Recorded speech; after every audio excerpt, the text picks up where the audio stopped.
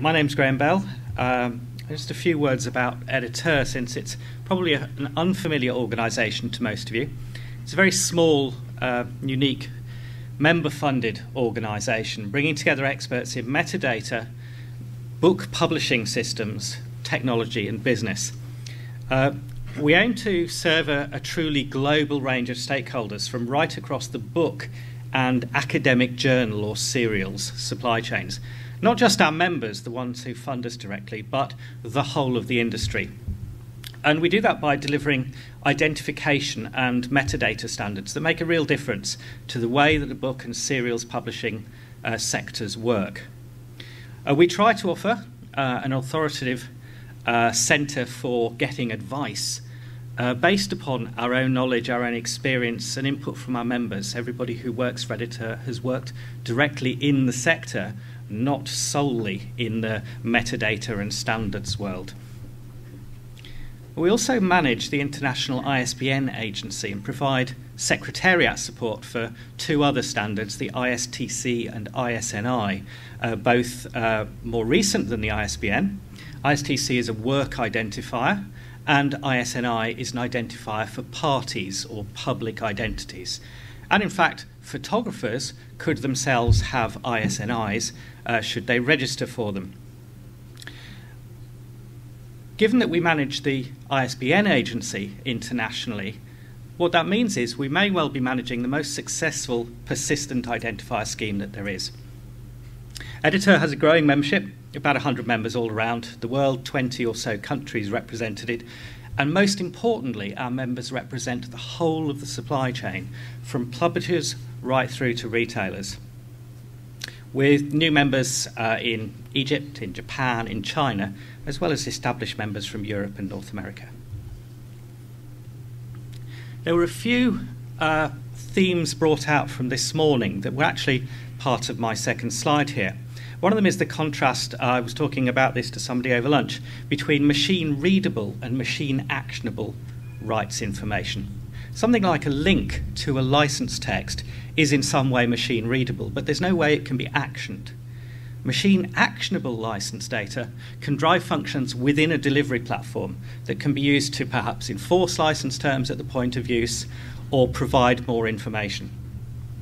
Machine actionable rights expressions need a very strong identification of the resources of the parties who are, are um, subject to rights agreements and to the rights themselves. To be machine actionable, you need unambiguous semantics concerning the nature of the rights that you own or are trying to sell semantics, a dictionary, or more specifically, a lexicon of rights terms which are agreed and understood by all parties. Just as an aside, the elimination of ambiguity in those rights terms isn't always in the interests of the parties involved.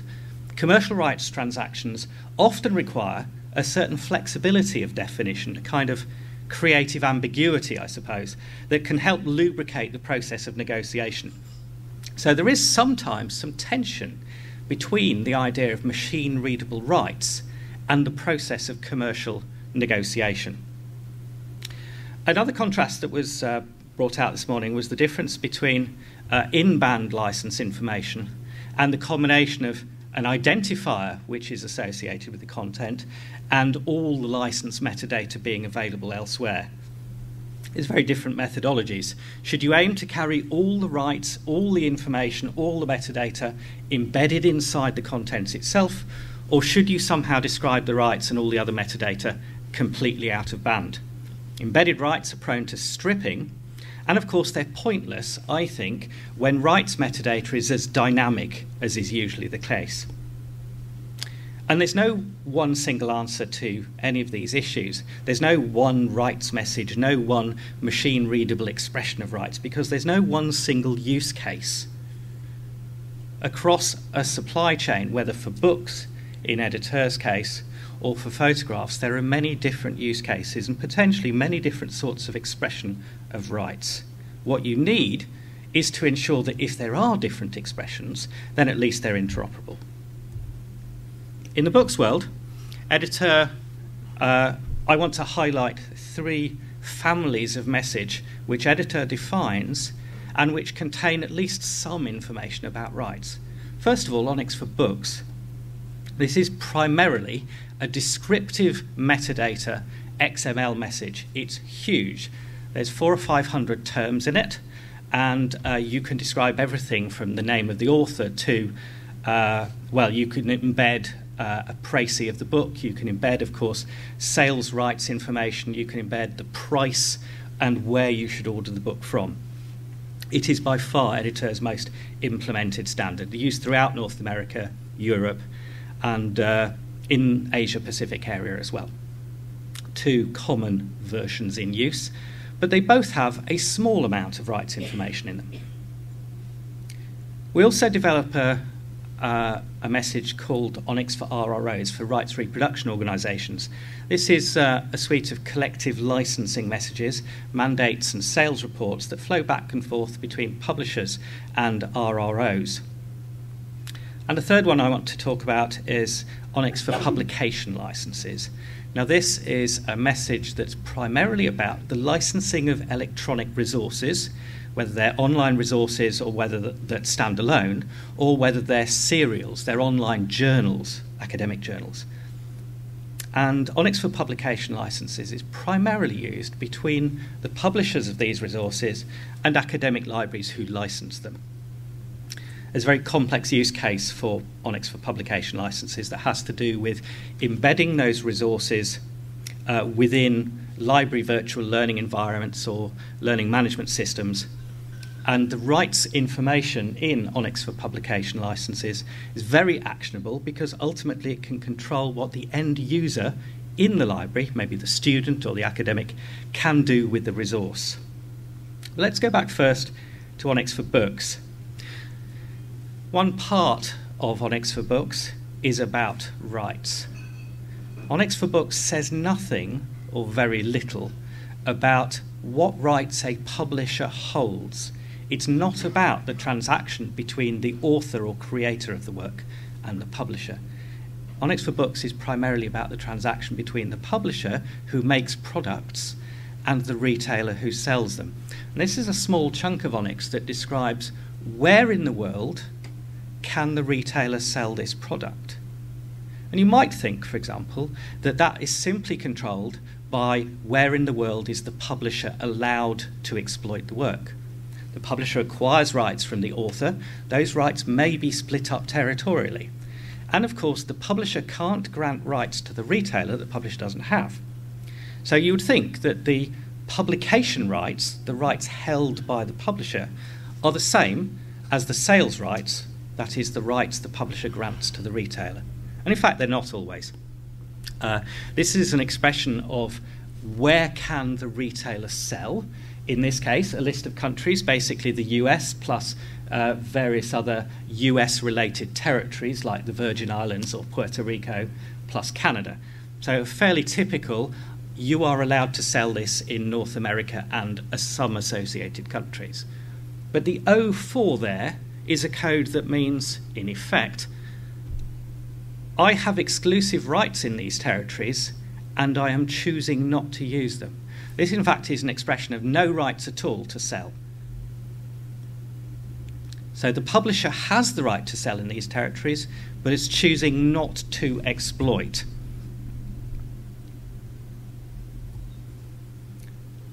Moving on to ONIX PL, for publication licenses. This uh, build is a standard that builds on some work done by the Digital Library Federation in their Electronic Resource Management Initiative work from the early 2000s. It's joint between NISO and Editeur, part funded by JISC in the UK and the Publishers Licensing Society. It enables publishers or libraries to link particular resources to a particular set of machine processable rights, duties, limitations. To load those um, rights expressions into library management systems and potentially to enforce those rights and duties within the delivery system. It's very specialised to handle licenses of e resources and it's very specialised to library use cases. But it does enable the libraries to treat a very disparate range of electronic resources, whether they're integrating resources, continuing resources, or fixed resources, in a highly standardized way. It is a particularly complex XML message, so I'm only going to show you a very high level uh, summary of the sorts of things that uh, it contains, and I'm not going to go through this in any detail at all. Each of these XML uh, terms is really a composite, a placeholder for, uh, in some cases, several tens of individual elements. If you distill it down, I suppose underneath there's uh, a model that views a usage right as a combination of six or seven major elements. A resource at the top to which the right applies, a specific type of usage, a user or class of users that may exercise that right, a set of constraints and duties that apply to either the licensor or the licensee of the usage right, a status for that usage, like has it been exploited already, and possibly a set of usage rights that, that will apply to any derived resource that arises from the usage. So, if one of the usages, for example, is to um, abstract some information from the resource, there may be some rights that apply then to the associated chunk of data, which is the, uh, the bit you abstracted. Note that the user doesn't need to be the licensee. Typically, the licensee is a library, and the users are patrons of that library. The important point is to define the relationship between the licensee and the users. For example, does the set of users include alumni of the institution? Does it include faculty as well as students, or just the faculty?